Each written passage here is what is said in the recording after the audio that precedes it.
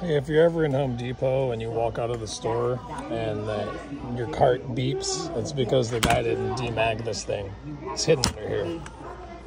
We always want to make sure that thing runs over the thing so it doesn't look like you're stealing it on the way out.